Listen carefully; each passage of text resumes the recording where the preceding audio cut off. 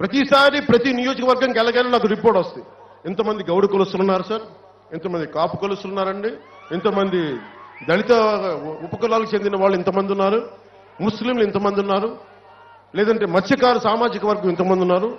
వీళ్ళతో ఇలా మాట్లాడితే నేను అలా మాట్లాడదలుచుకోవట్లేదు. ఆ కైండ్ ఆఫ్ పాలిటిక్స్కి జనసేన నేను స్వస్తి పెట్టదలుచుకున్నా. మనందరం మనుషులు మనందరం మానవులు. మానవత్వం నా నా ముఖ్య ఉద్దేశం తప్ప నేను కులాలుగా విడతీసి నేను రాజకీయాన్ని చేయలేను. కానీ కులాలన్నీ ఎందుకంటే అందరూ ఇదే చేసుకుంటా వచ్చారు. నేను అది చేయడానికి రాలా. ఇంతమంది యువతున్నారు. నా సినిమా వచ్చినప్పుడు మీరందరూ మీ కులాలు చూడాల. పవన్ కళ్యాణ్ సినిమా ఇష్టం. అలాగే నేను కూడా అంతే. మిమ్మల్ని నేను కులాలకి అతీతంగానే చూస్తాను నేను. మతాలకు అతీతంగానే చూస్తాను నేను. అలాంటి నేను వచ్చి రాజకీయాల్లోకి రాగానే మళ్ళీ నేను ఇలాంటి ఆలోచన నేను పెట్టుకోదలుచుకున్నాను. నేను పెట్టుకుంది ఆంధ్రప్రదేశ్ యువత కులాలకి మతాలకు అతీతంగా ఉన్న యువతకి నేను ఎలా నిలబడగలను? అభివృద్ధి సమృద్ధిగా ఉన్నప్పుడు ఉద్యోగ ఉపాధి అవకాశాలు అందరికీ రాగలం. మనం అవన్నీ కాకుండా కూర్చోబెట్టి మన కులపోడు వస్తే బాగుంటుంది అనుకుంటే అందరూ అందరూ మా కులపోళ్ళు మా కులపోళ్ళు అని చెప్పి తీసుకొస్తే ఈ రోజున ఈ స్థానిక ప్రజాప్రతినిధి ఏ స్థాయికి దోపిడీ చేస్తున్నాడో మీరు మీరు చూసుకోండి.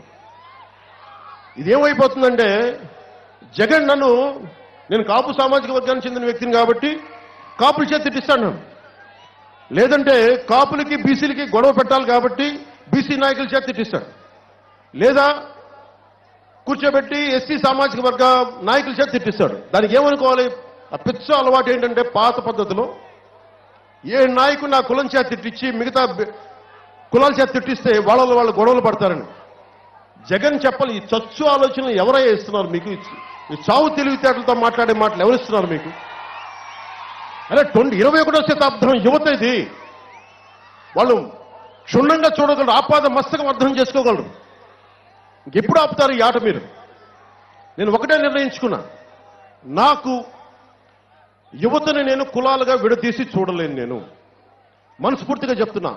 మీరు ఓటేసినా ఓటు వేయకపోయినా నాకు పర్లేదు కానీ ఒక నాయకుడిగా మటుకు నేను మిమ్మల్ని కులాలుగా నేను విడతీయలేను అందరూ కులాలుగా విడతీసి విడతీసి విడతీసి ఈ రోజున పరిస్థితి ఇక్కడ దాకా తీసుకొచ్చాం.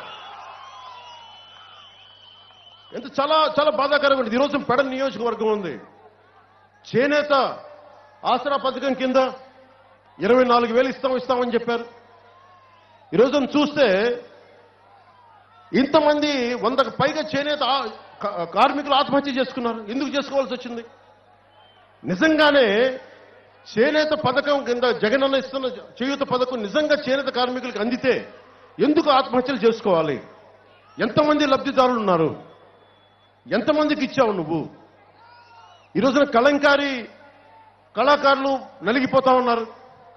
కలంకారి పెడన కలంకారీ కరుల- కళాకారులకి ఆసరా కరువైంది ఉపాధి కరువైంది. మద్రాసు నుంచి నూలు ఉత్పత్తి చేసుకోవడంలో వాళ్ళ ఖర్చులు పెరిగిపోయినాయి. ఇక్కడ ఆటుపోట్ల వల్ల నీళ్ళు సరిగ్గా లేక ఉప్పు నీరు వల్ల పాపం ఇక్కడ వాళ్ళు ఇబ్బంది పడతా వాళ్ళకి ట్యాంకులు కావాలి వాళ్ళకి. దీని గురించి ఎవరు ఆలోచిస్తారు? మా కులం కాదని చెప్పి వదిలేస్తామా మా వాడు కాదని చెప్పి వదిలేస్తామా నేను అందుకనే సమగ్రంగా యువత కోసం అన్ని రకాలుగా దృష్టిలో పెట్టుకొని ఆంధ్రప్రదేశ్ బాగుండాలి అంటే కులాలని దాటే ఉండాలి. కులాలని దాటే రాజకీయం చేయాల్సిన అవసరం ఉంది.